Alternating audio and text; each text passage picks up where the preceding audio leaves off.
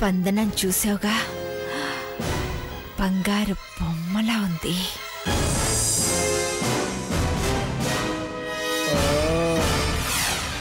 అది పెరిగి పెద్దదైందనుకో. బంగారం షాపే అవుతుందిరా. స్పందన మొఖంలో అంత సిరి ఉందిరా.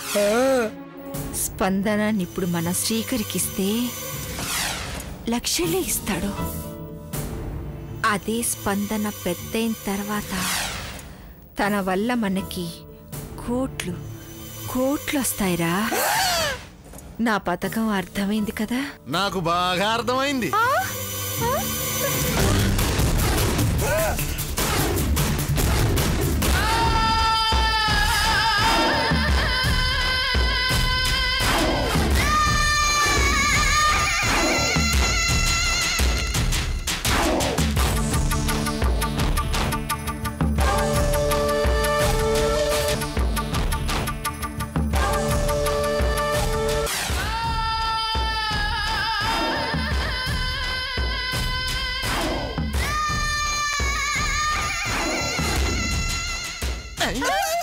యారా కంగు తిన్నారా? నువ్వు ఇక్కడ ఇలా ప్రతిమను వెతుక్కుంటూ నువ్వు వీడు వైజాగ్ రాగాలేంది? నేను రాలేనా? అదే అత్తయ్ నువ్వు మామూలు దానివి కాదు. మనం కలిసినప్పుడు ఏమనుకున్నావు? మన ముగ్గురులో ప్రతిమ అడ్రస్ ఎవరికి తెలిసినా ఒకరికొకరు చెప్పుకోవాలి అనుకున్నాం కానీ మీరేం చేశారు? అడ్రస్ మీకు చెప్తామని అనుకున్నాను కానీ ప్రతిమ వైజాగ్లో ఉందో లేదో తెలుసుకొని ఆ తర్వాత మీకు ఫోన్ చేసి చెప్తా అనుకున్నాను ఈ లోపు మీరే వచ్చేసారు! హై! ఆపండి మీ నాటకాలు నీ బుద్ధుల గురించి నాకు ముందే తెలుసురా. అందుకే మిమ్మల్ని ఒక కంట కనిపెడుతూనే ఉన్నాను. మీరిలా వైజాగ్లో అడుగు పెట్టగానే నేను అలా అక్కడ కనిపెట్టేశాను. హ, సరే జరిగింది వదిలేద్దాం. నా కూతురు గురించి మీరు అనుకున్నది మొత్తం వినేశాను. నా కూతురు స్పందన గురించి ఎంత ఘోరంగా దురాలోచన చేస్తున్నారు? ముందు ముందు తన అందంతో కోట్లు సంపాదిస్తుంది. అది కొట్టేద్దామని ప్లాన్ చేస్తున్నారా? అబ్బే మాట వరుసకి ఏదో సరదాగా అనుకుంటున్నాం అంతే. మాట వరుసకేంటి? మీరు చెప్పేది నిజమే.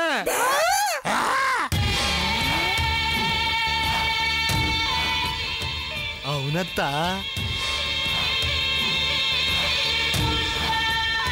నాకు మీకున్న ఆలోచనలే ఉన్నాయి. ఇప్పుడు మీరు కూడా నాకు తోడు దొరికారు. అమ్మయ్యా నువ్వు మా మాటకి కోపడతావనుకున్నాను. పర్వాలేదు నువ్వు కూడా మా లైన్లోనే ఉన్నావు.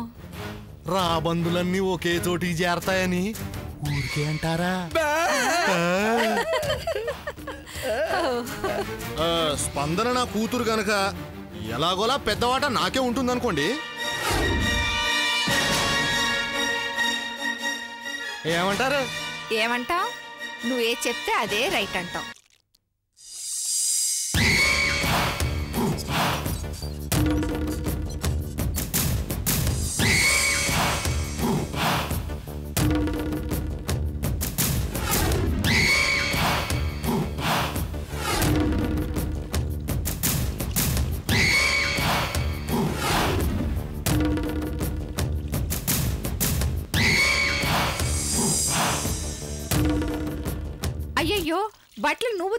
ఆరేస్తున్నావేంటమ్మా ఇవన్నీ చేయడానికి నేనున్నాను కదా.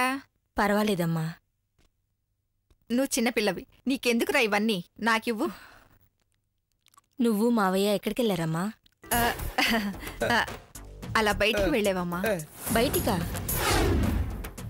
అదేనమ్మా ఊరు చూద్దామని. ఆ,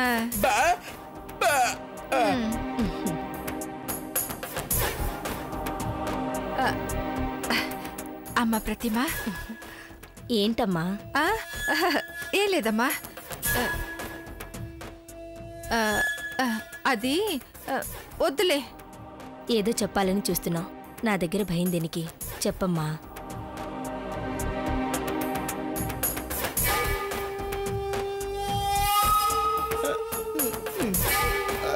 చెప్పమ్మా. చెప్పమ్మమ్మా. డాడీని తీసుకొచ్చానని చెప్పు.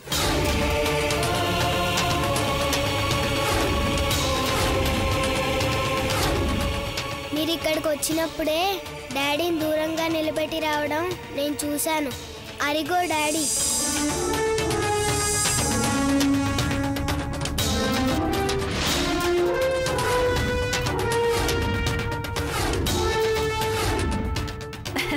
నా బంగారు తల్లికి అన్నీ తెలుసు. అమ్మా! అందుకే నేను మిమ్మల్ని ఇంట్లోకి రావద్దన్నాను. ఇప్పుడు చూడండి. మొదట మీరు తర్వాత ఆయన. మొత్తం అందరూ కలిసి నా కూతుర్ని ఏం చేస్తారో అని భయం భయంగా బతకాలి.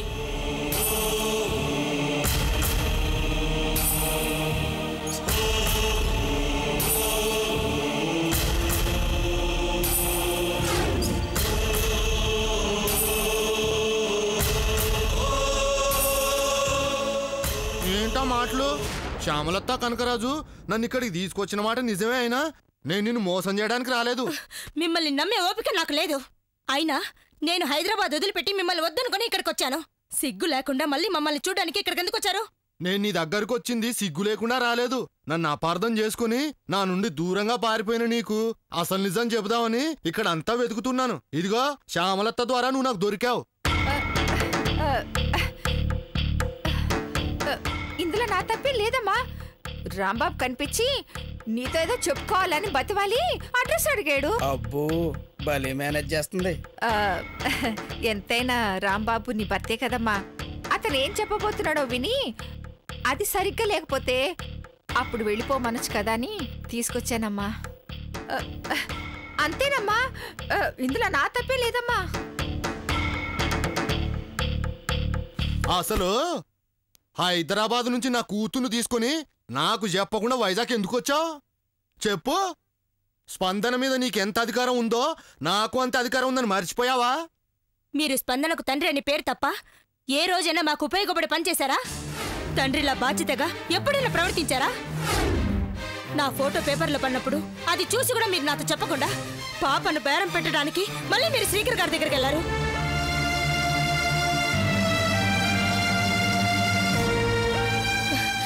అలాంటి పెద్ద మనిషి మీరు. మళ్ళీ ఏ ముఖం పెట్టుకుని ఇక్కడికి వచ్చారో నాకు అర్థం కావడం లేదు. నేను హైదరాబాద్లో ఉండింటే ఈ పాటికి నా కూతుర్ని నా నుంచి ఎప్పుడు దూరం చేసేవారు. ఆ దేవుడి దయ వల్ల నాకు అసలు నిజం తెలిసి అక్కడి నుండి స్పందనను తీసుకొని పారిపోయి వచ్చాను గనక సరిపోయింది.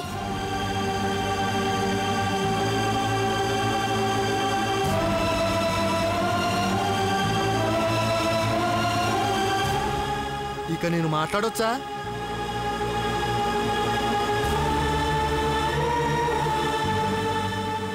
ఇంతకు ముందు నేను ఒకసారి స్పందనను పది లక్షలకు అమ్మాలని అనుకోవడం నిజమే కావచ్చు. అందులో శ్యామలత్త ప్రమేయం కూడా ఉందనుకో. మధ్యలో నా గొడవ ఎందుకు? నువ్వేం చెప్పదలుచుకున్నావో నీ గురించి మాత్రమే చెప్పుకో. సర్లే. ఆ రోజు పేపర్లో నీ ఫోటో ముందుగా నేను చూసినా అది తెలిస్తే నువ్వు ఎక్కడ టెన్షన్ పడతావో అని నీకు చెప్పలేదు. కానీ ఆ పేపర్లో నీ ఫోటో చూసిన నేను. ఆ తర్వాత ఏం చేశాను నీకు తెలిస్తే ఈ రోజున నువ్వు ఇలా మాట్లాడవు. పేపర్లో నీ ఫోటో వేసి ప్రకటన ఇచ్చిన వాడి దగ్గరికి వెళ్ళి కాలర్ పట్టుకుని నేను తీసుకున్న పది లక్షల కోసం నా భార్య కూతుర్ని ఎందుకు బాధ పెడతావు? నీకేదైనా చెయ్యాలని ఉంటే నన్ను చెయ్యి అని నాలుగు దులిపేశాను.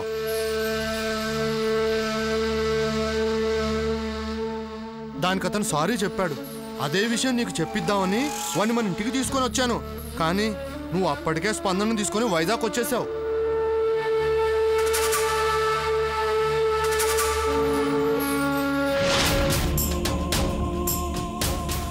నువ్వు నా బంగారు తల్లి కనిపించక ఆ రోజు నుంచి ఈ రోజు వరకు నేను ఎంత బాధపడుతున్నానో నీకేం తెలుసు? ఇప్పటికైనా నువ్వు నన్ను అర్థం చేసుకుంటావు అనుకుంటున్నాను.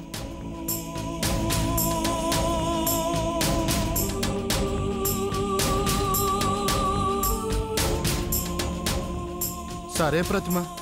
నా మీద ఇంకా కోపం పోయినట్టుగా లేదు. నిన్ను స్పందనను చూశాను. మీరెక్కడున్నా బాగుండటమే నాకు కావాలి. నేను వెళ్తాను.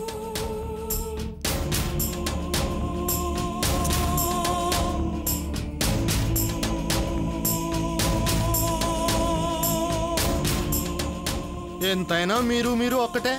అందుకే శ్యామలత్తను కనకరాజును క్షమించిన నువ్వు నా గురించి ఇంతసేపు ఆలోచిస్తున్నావు.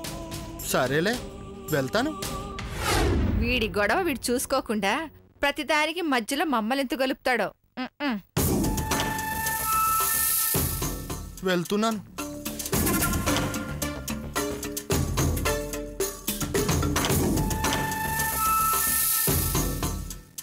అందరినీ క్షమించావు కదా మమ్మీ. అలానే డాడీని కూడా.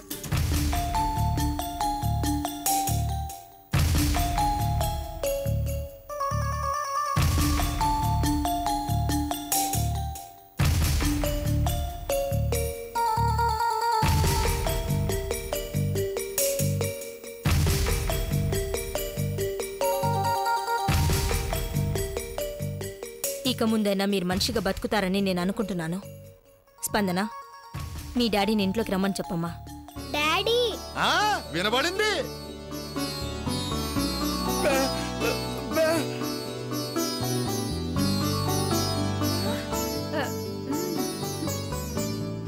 రా స్పందన.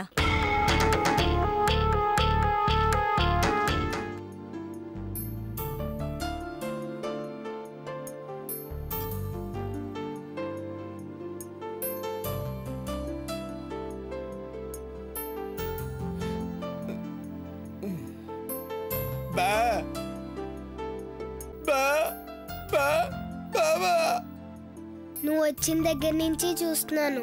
నాకేదో చెప్పాలని చూస్తున్నావు కానీ అది నాకు అర్థం కావట్లేదు తాతయ్య. నువ్వు చదువుకోలేదా? బా. మరేం చెప్పాలనుకున్నావో రాసి చూపించొచ్చు కదా. బా బా బాబా అలాగా. అయితే ఒక పని చేద్దాం. బా నేను చాక్ పేస్ ఇస్తాను.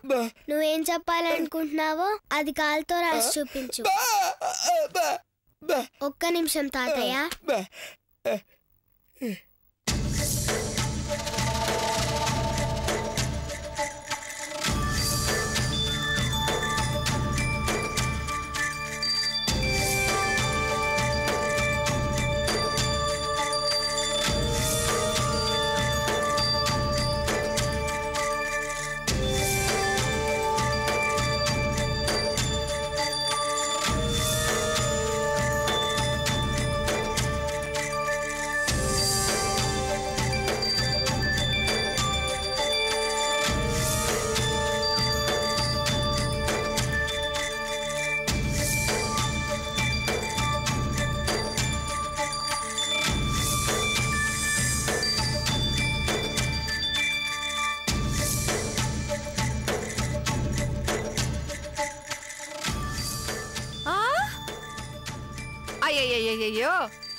పిచ్చిగీతలేంట్రా అసలు నీకు బుద్ధిందా? ఆ? బా బా బా. ఏంటి? స్పందన రాయమందా? అవునమ్మమ్మ నేనే రాయమన్నాను. తాతయ్య వచ్చిన దగ్గర నుంచి ఏదో చెప్పాలని ట్రై చేస్తున్నాడు కానీ నాకు అర్థం కావట్లేదు. రాసి చూపించడానికి పాపం చేతులు కూడా పని చేయట్లేదు. అందుకని కాల్తో రాయమన్నావా? అవునమ్మమ్మ ఇలా కూడా రాసి చూపించచ్చు కదా అని. వీడికి చేతులతోనే సరిగా రాయటం రాదు పైగా కాల్తో కూడానా? చదువుకున్నానన్నాడు. ఏంటి వీడు చదువుకుంది? వీడు బొందా. మూడో తరగతి మూడు సార్లు ఫెయిల్ అయ్యాడు వీడు. ఎందుకు అంత కోపంగా చూస్తావు? నేను చెప్పింది నిజమే కదా? అంటే చేతులున్నా కూడా రాయడం రాదా? నువ్వు నోర్మి ఇదిగో నీకు ఇదే చెప్తున్నాను మళ్ళీ కాలుతో ఇలాంటి పిచ్చి పిచ్చి గీతలు గీసావంటే కాళ్ళు కూడా విరగొట్టి మూల కూర్చోబెడతాను. జాగ్రత్త. నేనంత పాడు చేశాడు వెదవచ్చి బా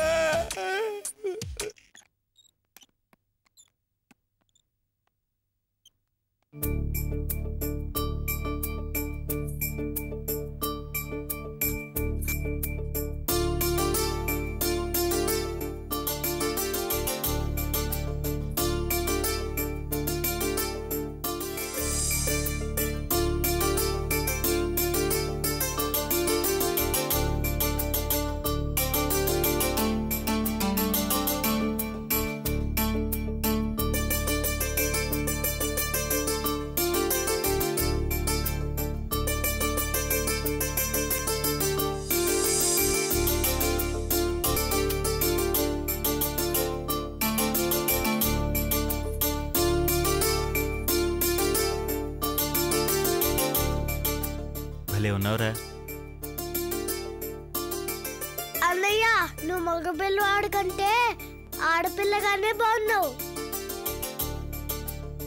లక్ష్మికి మొదటి నుంచి ఆడపిల్లలంటే చాలా ఇష్టం. జస్వంత్ పుట్టకముందు ఆడపిల్ల పుడితే బావుండు అని చాలాసార్లు అనుకుంది. కానీ మగపిల్లవాడు పుట్టాడు. అందుకేనేమో జస్వంత్కు ఆడపిల్ల వేషం వేసి తెగ మురిసిపోతోంది. ఎంతైనా ఆడపిల్ల ఉంటే ఆ కళే వేరండి. ఆడపిల్ల ఇంట్లో తిరుగుతూ ఉంటే లక్ష్మీదేవి తిరుగుతున్నట్టుగా ఉంటుంది నువ్వు చెప్పింది నిజం లక్ష్మి ఇలా రారా జస్వంత్ తాతయ్య ఆ, ఈ మధ్య ఆ. అబ్బాయిలు అమ్మాయిలుగా మార్చేస్తున్నారంట ఆహా. అన్నయ్యను ఆడపిల్లగా మార్చేద్దామా ఓ. ఏయ్, నిన్ను అన్నయ్య నువ్వే ఆడపిల్లవి. నువ్వు పట్టుకో.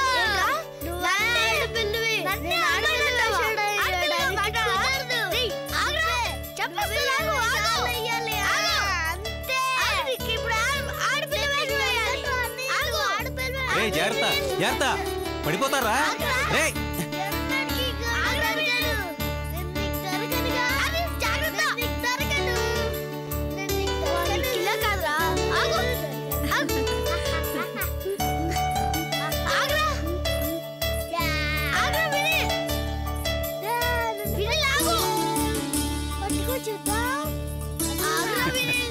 శ్రీకర్కి ఆడపిల్ల పుడుతుందని ఎంతో ఇష్టంగా ఎదురు చూశాం కానీ ఇద్దరు మగపిల్లలే పుట్టారు.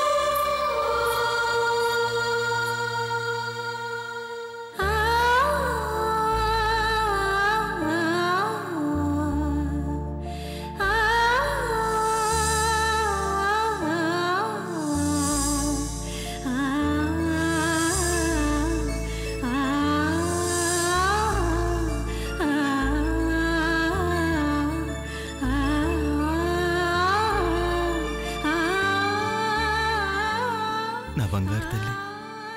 ఎంత అందంగా ఉన్నావురా.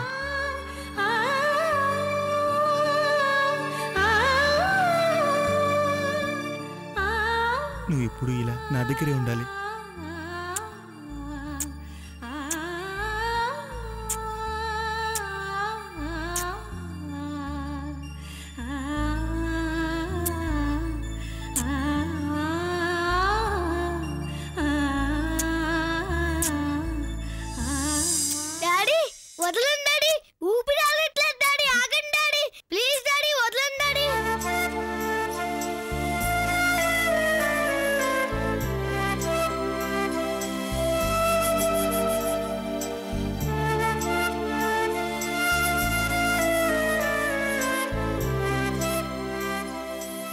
శ్రీకర్కి కూడా మొదటి నుండి ఆడపిల్లలంటే ఇష్టమే.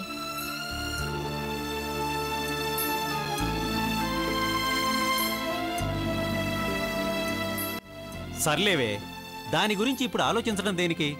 ముత్యాల్లాంటి ఇద్దరు మగపిల్లలు ఉన్నారు.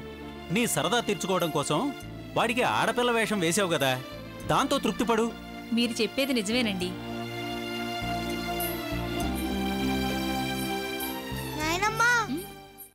ఇంక ఈ బట్టలు ఇప్పేస్తాను. కాసేపు ఉంచుకోరా. కష్టపడి తయారు చేశాను కదా. అవునరా మనవడా. మీ నానమ్మ సరదా తీరే వరకు ఉంచుకో. లేకపోతే రోజు నిన్ను ఇలాగే తయారు చేస్తుంది. అమ్మో! నానమ్మ కోసం కాసేపు ఉంచుకోవచ్చు కదా. ఈ గెటప్ నీకేస్తే తెలిసేది. అమ్మో! నా వల్ల కాదు. అయితే నిన్ను ఇప్పుడే అన్నయ్యలా రెడీ చేస్తాను. ఉండు. అమ్మో నాకు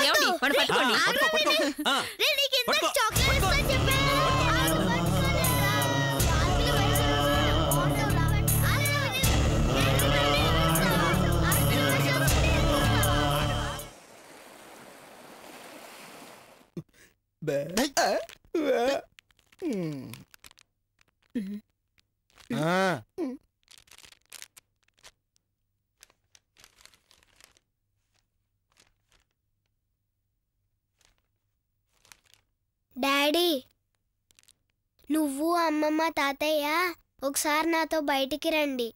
ఎందుకమ్మా? చెప్తాను కదా మీరు రండి. సరే. బే లేవరా బెబ్బే. అమ్మ అమ్మా. బే బే.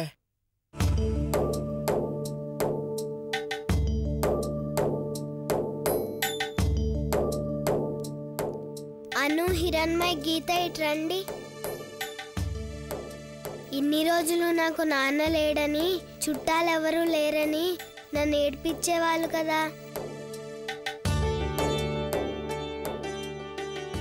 ఇతను మా డాడీ పేరు రాంబాబు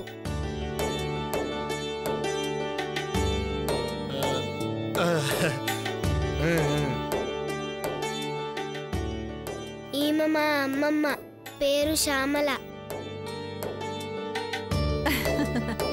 మ్మ్.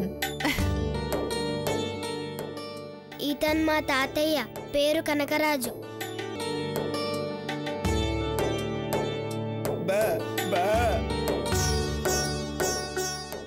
నాకు మమ్మీ డాడీ అమ్మమ్మ తాతయ్య అందరూ ఉన్నారు.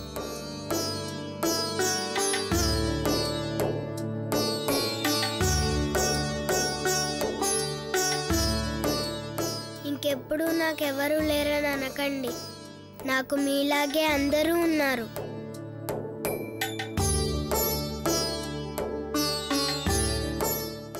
ఇక మీరు వెళ్ళి ఆడుకోండి. డాడీ మనం వెళ్దాం పదండి.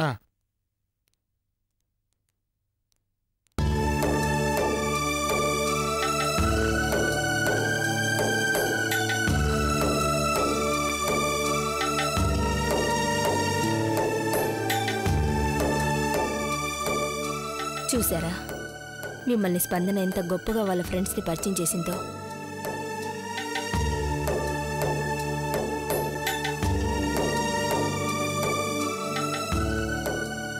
స్పందన తన వాళ్ళగా మిమ్మల్ని నమ్మి ఇప్పుడు చాలా సంతోషంగా ఉంది. మళ్ళీ మీరు తప్పులు చేసి తనని ఆ సంతోషానికి దూరం చేయకండి.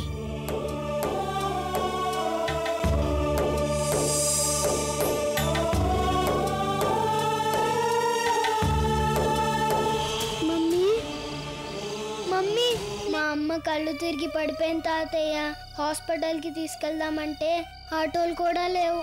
అయితే? ఈ బండిలో మా అమ్మని హాస్పిటల్కి తీసుకెళ్దాం తాతయ్య.